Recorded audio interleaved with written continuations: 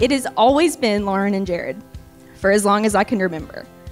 I know that they are ready to take this next step in their relationship, and I am fulfilled knowing that my sister gets to live her life alongside her best friend every day.